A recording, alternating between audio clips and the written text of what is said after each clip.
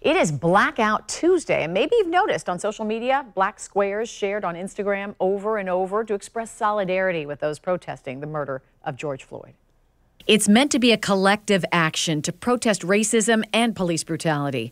Organizers of Blackout Tuesday said they wanted today to be a day to disconnect from work and reconnect with our community. Calling the black squares your friends, families, businesses, and individuals posted on their social media accounts a way to observe, mourn, and bring about policy change in the wake of George Floyd's death.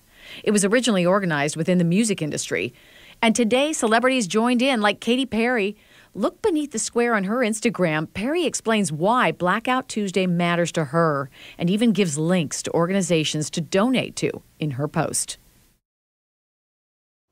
Now, some are using the hashtag Black Lives Matter, but some activists are pointing out that posting a blank black image with a bunch of tags clogs up critical channels of information and updates as demonstrations go on around the nation. They're asking people to please stop using the hashtag for black squares posted.